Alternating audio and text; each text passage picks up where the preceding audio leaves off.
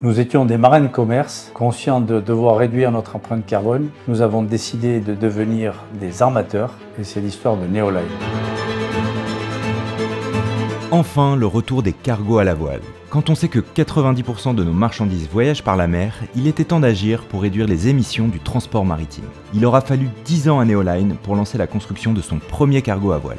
Il y a eu des moments durs. 10 ans pendant lesquels le projet a parfois frôlé l'échec définitif. C'est trop complexe, ça prend trop de temps. Des premières idées jusqu'au test en bassin, en passant par des milliers d'heures d'ingénierie, vous allez découvrir l'aventure de Neoline et revivre les 10 ans qui ont mis à l'épreuve la persévérance de toute l'équipe. Et ça, c'est la face émergée de l'iceberg.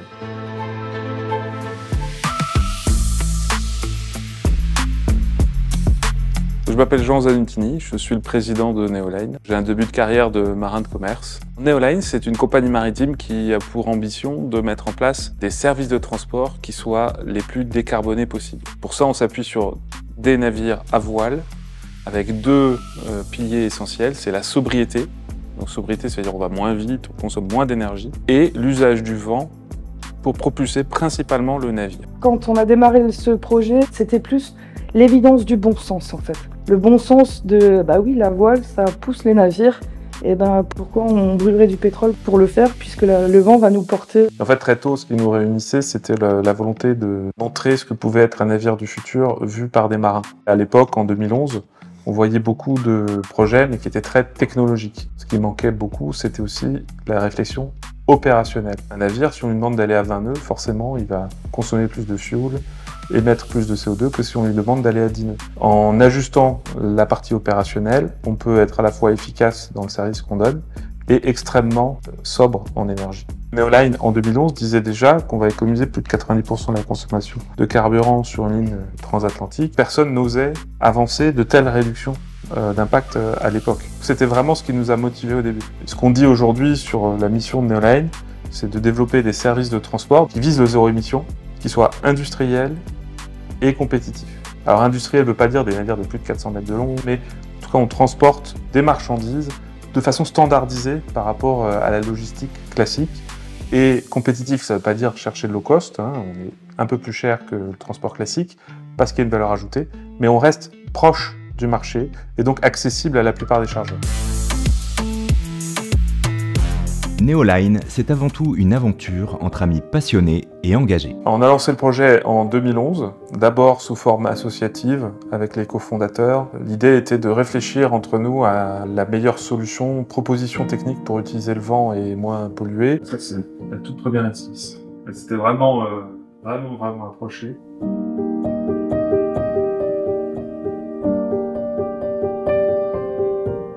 Donc cette phase-là a duré de 2011 à 2015. Et ensuite, on a créé la société en 2015 et là, il y a une- on a commencé collectivement à investir des fonds progressivement pour vérifier nos calculs, euh, aller chercher des clients, etc. Jusqu'en 2015, on ne se donnait pas, à ma connaissance, d'objectifs précis. On parlait pas à l'externe. On restait assez, enfin, Prudent. prudent. De 2011 à 2015, quelque part, c'est vraiment une phase de gestation, donc ça nous coûte pas très cher, euh, etc. Puis a un moment, on se dit bon, euh, c'est sympa, mais maintenant on est arrivé au bout de ce qu'on peut faire entre nous, et il faut décider est-ce qu'on tente euh, d'y aller, se jette à l'eau, ou est-ce que finalement ça reste une belle idée et voilà. Et donc là, il y a des décisions aussi qui ont été personnelles hein, pour différents fondateurs qui étaient plus ou moins impliqués à certains moments. Notamment pour moi, il y a eu une décision assez forte de décider de prendre en charge l'animation du projet euh, et de la coordination. Donc ça, ça a été quand même un, élément moteur. Et à partir de ce moment-là, tout d'un coup, il y a un compte à rebours qui démarre parce que ça coûte des sous. Il faut qu'on se mette un horizon. À cette époque-là, on pensait en 2015, de mémoire, qu'en 2019, le navire serait à l'eau. Et c'est à partir de ce moment-là que des dizaines de partenaires sont montés à bord et qu'au fil des mois, des milliers d'heures ont été consacrées à ce projet. Donc moi, je suis Vincent Seguin, président de Moric, donc cabinet d'architecture navale et d'ingénierie marine. Moric a à peu près 80 ans d'existence. On soit tout type de navires de, de- de commerce, navires de service, d'une dizaine de mètres à plus de 150 mètres aujourd'hui. On est en charge de la conception du Neoliner depuis euh, maintenant près de 7 ans. Ici à Nantes, on est euh, 18 personnes et au total, on est aujourd'hui 34 avec un certain nombre de collaborateurs, dont beaucoup ou la plupart en ce moment travaillent sur le projet Neoline. Heureusement, il y a les coureurs à la voile qui font des expériences. Et nous les en remercions. Nous, Marine Commerce, on ne peut pas se permettre de faire des expériences parce que les navires coûtent trop cher, parce qu'on a un service à rendre, parce que c'est trop lourd, parce que pour plein de raisons. Le fil directeur, c'est toujours d'adopter des technologies matures. Un néoliner fait appel à plein de disciplines et de problématiques différentes, ce qui fait le côté magique de notre métier, je dirais. Avant la contractualisation, donc sur les 6 ou 7 ans que l'on a euh, consacrés au montage de ce projet, c'était déjà à peu près 5000 heures consacrées par Boric, bah, jusqu'à permettre la concrétisation de ce projet. Jusqu'à euh, la livraison du navire, c'est entre 25 et 30 000 heures qui vont être encore euh, consacrées à ce projet pour l'ensemble de, de l'équipe Moric. Donc ça inclut les études, ça inclut l'assistance technique que l'on va apporter au chantier, et puis ça inclut euh, bah, les heures euh, consacrées par nos sous-traitants, nos fournisseurs, pour réaliser des calculs, des essais et un certain nombre de prestations. Les mâts, en fait, ils ne sont pas conçus par Mauric. C'est les chantiers de l'Atlantique qui nous donnent euh, leurs données. On injecte des forces dans notre modèle, ici et ici, qui viennent des chantiers de l'Atlantique. Et pour que vous imaginiez les forces en jeu, le mât fait 70 mètres de haut, la voile 1500 mètres carrés et il y en aura deux. Eric Coulon, moi je suis euh, ingénieur au chantier de l'Atlantique depuis 20 ans. Depuis 3 ans, je suis en charge du développement euh, du démonstrateur à l'échelle 1 du gréement pour le mettre soit sur des paquebots à voile, soit sur des navires de commerce. Donc on a une voile qui est semi-solide par panneau et qui va pouvoir se déployer et se ranger très facilement. Hein, par rapport à une voile classique euh, qui va faceiller au vent, euh, donc comme un drapeau. Là, on a quelque chose qui reste euh, stable, même avec des forces de vent importantes jusqu'à 100 km/h, ça va rester stable. On peut la déployer, la ranger facilement. Deuxième gros avantage, c'est la durée de vie. Hein. Une voile classique, on va la changer tous les 3, 4, 5 ans au mieux. Là, on a quelque chose du coup qui est en en film de carbone, on a une durée de vie de l'ordre de 25 ans. Hein. Donc euh, de la durée de vie euh, d'un navire euh, classique. Le système Solid Sail conçu par les chantiers de l'Atlantique, nous l'avons suivi depuis quasiment les, débuts des travaux des chantiers de l'Atlantique sur le sujet. La chose qui au début, au tout début, a retenu notre attention, c'est la possibilité de stocker les voiles et de plier la grand voile facilement. Qui dit nouvelle technologie, dit nouvelles problématiques. Par exemple, comment est-ce qu'on passe sous un pont? Alors pour passer sous les ponts, on a un système euh, qui nous permet de basculer le mât et euh, le balestron qui est à l'arrière. Les deux sont solidaires, de les basculer à 70 degrés euh, voilà, pour atteindre le tirant d'air souhaité. Bah là, c'est la première fois qu'on, l'équipe Neoline, on voit le rabattage du mât complet. C'est un vrai plaisir de se rendre compte de, de, cette taille, de cette masse qui se rabat. Ça permet aussi de se projeter, de visualiser comment on va pouvoir travailler avec ce mât, quelle procédure on va mettre en place.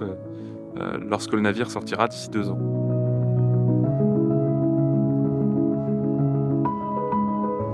L'autre défi, c'est qu'un navire traditionnel se fiche qu'il y ait du vent ou non. Alors que là... L'hypothétique manque de vent, ça c'était le point d'entrée de tous les chargeurs en amont de nos démarches. Et que faites-vous quand il n'y aura pas de vent? Pendant 120 ans, pendant lesquels la voile de travail a été supplantée par les navires à propulsion mécanique, il s'est passé beaucoup de choses. On a développé beaucoup de matériaux, on a développé des techniques, mais on a développé des connaissances. Et parmi ces connaissances, il y a la prédiction météo. Moi, sur la, durée de ma carrière de marin, la qualité de cette prédiction météo s'améliorait de façon spectaculaire. Donc, le routage, c'est exclure les zones où il n'y a pas assez de vent, mais aussi exclure les zones où il y a trop de vent trop de houle, éventuellement des glaces et des choses comme ça. Enfin, c'est vraiment un choix et on se rend compte, puisque nous avons fait des simulations sur euh, plus de trois ans de météo enregistrée en, simulant un départ tous les trois jours, on se rend compte qu'il y a toujours une solution, que d'ailleurs ces solutions sont assez dispersées, plus que nous marins nous l'imaginions. C'est l'enjeu de qualité auquel euh, on doit répondre. La gestion en fait, l'impact des variations de vent, c'est l'élément de modernité qui fait que tout d'un coup, on peut à la fois propulser le navire majoritairement au vent et être ponctuel. On va le prévenir, le prévoir et chercher le vent en fait. On suit le vent là où, il est. Et en plus, on peut négocier avec euh, le vent finalement parce que du coup, ah, t'es pas là, t'es là, ben, on va te chercher quand même. Et t'es pas là aujourd'hui, mais t'es là demain, c'est pas grave parce que j'ai 10 jours de trajet. Donc je peux aller moins vite aujourd'hui et attendre demain que tu sois là. Et donc cette capacité de négociation qu'on n'a pas hein, sur des éoliennes terrestres, etc., ça nous permet de alors que le vent reste une énergie intermittente, de l'utiliser vraiment beaucoup. Après, il reste évidemment un joker nécessaire, et c'est pareil à terre, c'est que quand il n'y en a vraiment pas et qu'il faut quand même avancer, eh bien on a quand même besoin d'une propulsion mécanique Pour le premier navire, cela reste un moteur diesel. Alors on ajoute une hybridation électrique, on essaie d'optimiser un maximum de choses, mais globalement ça reste pour l'instant du diesel, mais on l'utilisera très peu grâce au routage. On a gardé un moteur comme sur un navire conventionnel pour plusieurs raisons. La principale étant que le moteur nous permet de rentrer dans les ports et d'en sortir. Réglementairement, nous sommes obligé d'avoir un moteur de toute façon.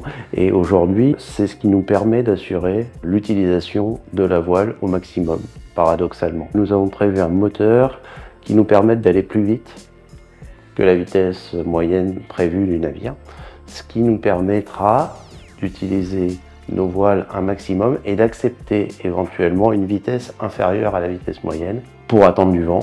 Et si le vent ne vient pas, eh ben, nous avons le moteur qui nous permet d'arriver au port et à destination dans l'horaire, ce que nous avons proposé à nos clients. On travaille notamment au développement d'une euh, brique technologique qui est l'intégration de batteries de seconde vie issues de l'industrie automobile, puisqu'on a beaucoup de véhicules électriques aujourd'hui qui sont produits. C'est un vrai intérêt pour nous, parce que Neoline est très emblématique par euh, l'utilisation de la voile, donc qui va faire 90% du travail, mais il reste une énergie euh, pilotable, résiduelle nécessaire et on essaye de trouver des solutions décarbonées pour fournir ce besoin énergétique et réutiliser des batteries euh, déjà amorties en fait sur d'autres utilisations nous a paru très pertinent parce qu'il y a une vraie problématique aujourd'hui euh, sur le sourçage des matériaux pour fabriquer des batteries. Le projet Neoline, ce n'est pas seulement un projet technique, mais c'est aussi une histoire de transmission aux futures générations.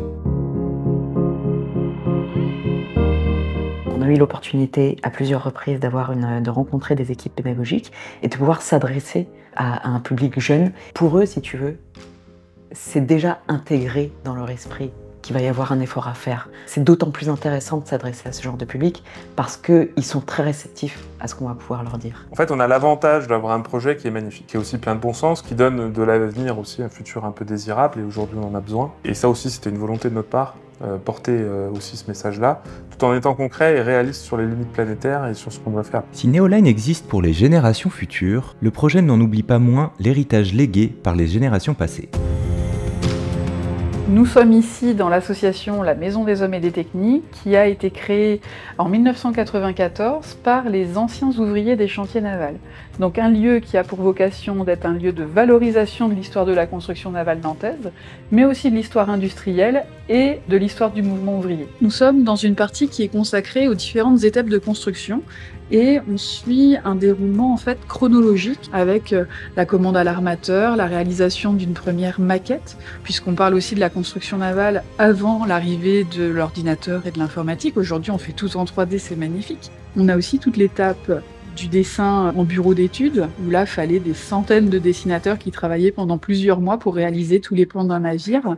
L'étape du formage, alors une étape extrêmement difficile et physique, puisqu'il s'agissait de chauffer la tôle et de taper dessus pour lui donner la forme.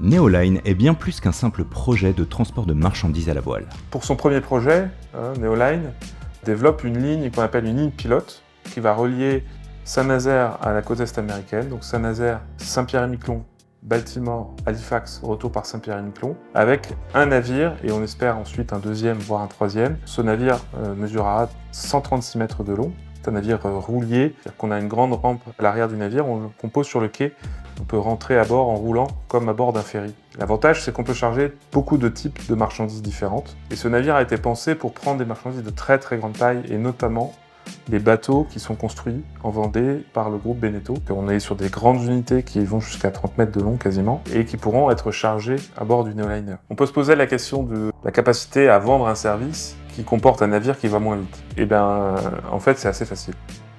Si on prévoit bien sa ligne, choisit bien nos clients, on leur propose des choses qui sont adaptées à leurs besoins. Comme on a des services avec un navire plus petit, donc plus dédié, plus proche de leurs besoins, on arrive au final à avoir des délais de transport qui sont parfois même meilleur, euh, la plupart du temps équivalent ou légèrement plus lent. Je crois que ça n'est jamais arrivé qu'on perde un client parce que notre transit time était trop élevé. Le défi, c'est pas d'avoir le meilleur projet technique, c'est d'avoir une très bonne solution technique, mais qui soit capable d'être euh, mise en œuvre. Et pour la mettre en œuvre, il faut trois éléments. Il faut des clients, qui sont engagés. Il faut une offre de construction du navire qui soit robuste et avec un prix qui soit gérable dans le modèle économique. Et il faut des financeurs qui soient capables de s'engager à financer ce navire et euh, tout ce qu'il y a autour. Et ces trois planètes-là, il faut réussir à les aligner, et ça c'est très difficile.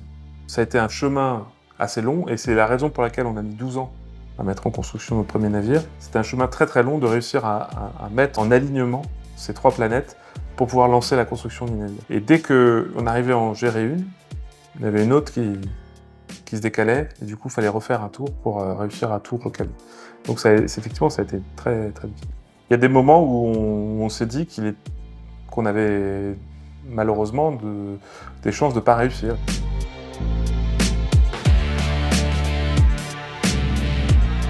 Il a fallu franchir de nombreuses barrières, convaincre à la fois les chargeurs, les financiers, l'écosystème autour. On ne se rend pas bien compte quand on voit aujourd'hui l'équipe Neoline, c'est 7 personnes. On va monter à 10 là, mais voilà.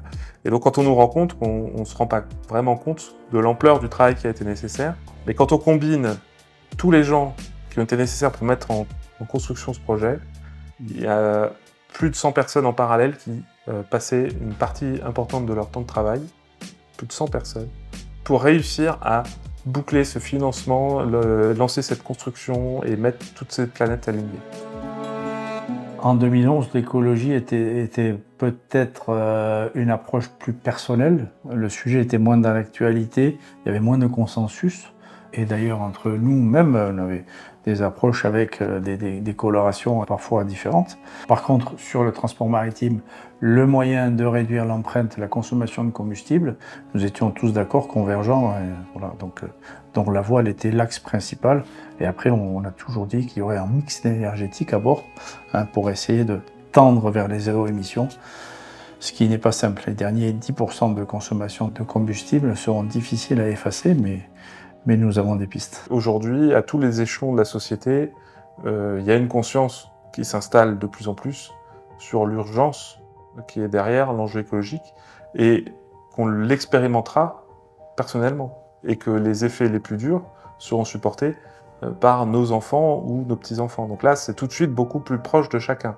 Et c'est ça aussi qui, dont Neoline avait besoin, sans doute euh, comme d'autres projets, pour réellement émerger. Il a fallu faire déjà de la sensibilisation euh, auprès des chargeurs. On est un peu pour des, écolos idéalistes en fait, clairement. En tout cas, il y a cinq ans, vraiment, le marché n'était pas, était pas dans, dans l'état d'esprit dans lequel il est aujourd'hui, c'est clair. Donc plutôt commencer par ça et déjà aller sur des choses où on rassure, où on dit que ça fonctionne de la même manière que les autres, que euh, la sécurité est la même pour leurs marchandises. En parallèle de nos, de nos, de nos explorations et même de nos difficultés, le monde s'est tendu, les générations aussi, les changements de génération euh, aux directions logistiques et même dans les banques, etc. Et du coup, on est de plus en plus eu face à nous des professionnels qui avaient conscience aussi personnellement de l'enjeu important et qui avaient envie de soutenir en interne et de porter en interne des projets tels que les nôtres. Ces soutiens ont permis de pousser la concrétisation encore plus loin, et c'est comme ça que les tests sur une maquette de 800 kg ont démarré au Danemark.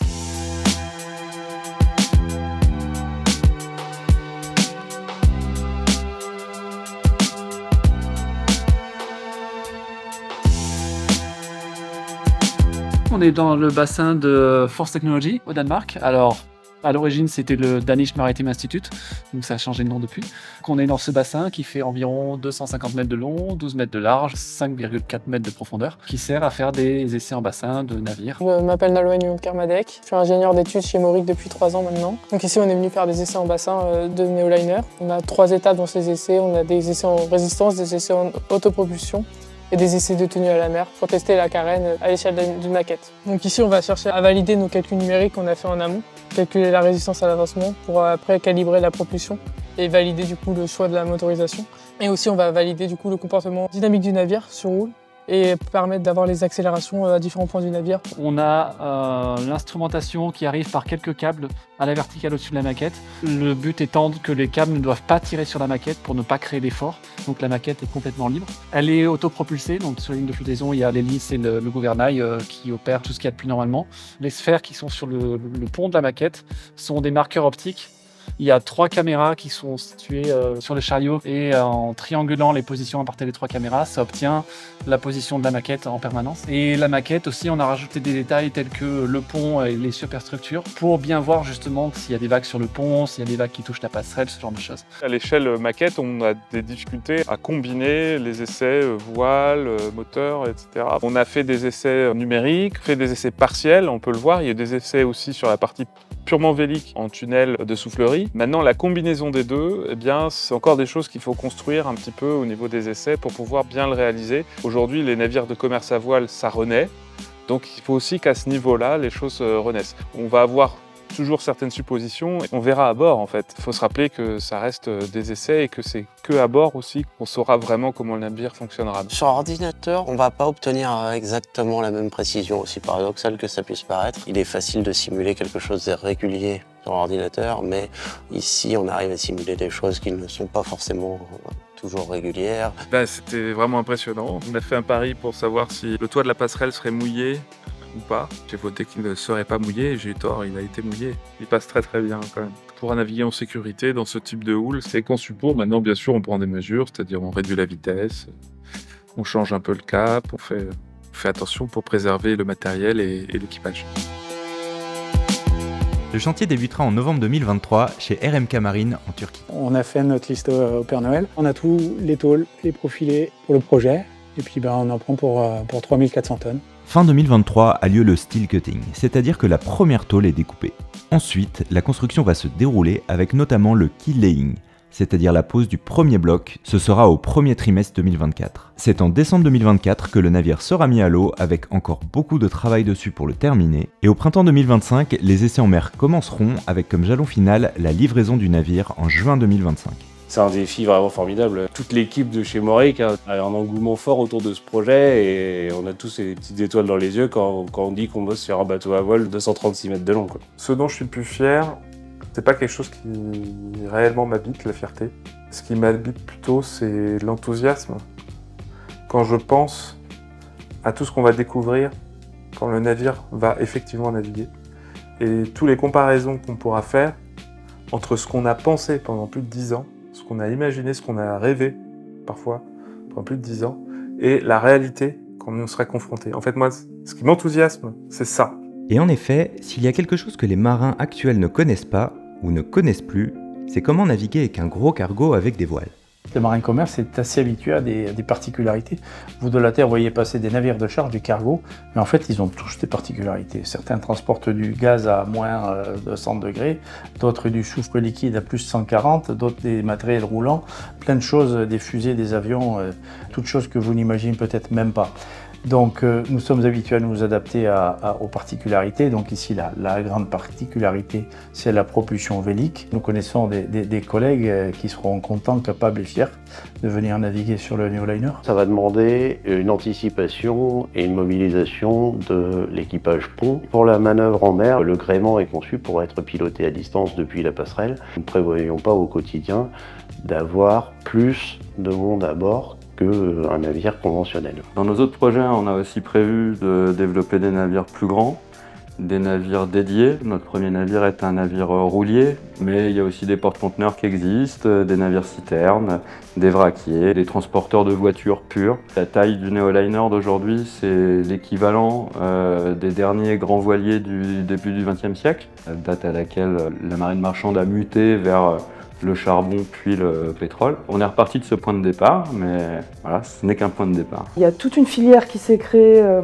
de propulsion par le vent avec euh, l'IWSA au niveau international. La partie française représentée par Winchip, qui d'ailleurs est à Nantes et c'est pas pour rien, était parmi les premiers euh, à porter la filière. Et on continue à différents niveaux, aussi réglementaires, au niveau des institutions, au Parlement. Il y a beaucoup de choses à faire avancer, il y a beaucoup de travail.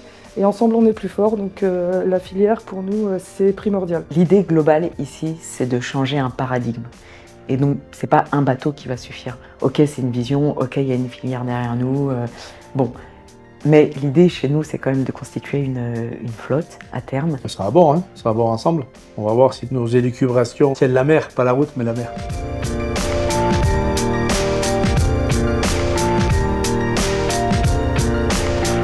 Grâce à l'implication de très nombreuses personnes, ce beau projet a pu voir le jour. Les cofondateurs, au-delà de Michel Perry et moi-même, il y avait Eric Gavotti, Philippe Vidot, Alain Neveu, Antonin Petit, Jean-Jacques Vidal, Adrien Simonet, Florian Cortès, euh, et puis c'est ajouté aussi deux personnes en plus, euh, Paul Le Bihan, qui a été président de la Fondation Bélène, et euh, Guillaume Péan, notre actuel directeur technique. Merci à toutes ces énergies qui ont œuvré de près ou de loin pour permettre le développement de Neoline et la construction du premier Neoliner.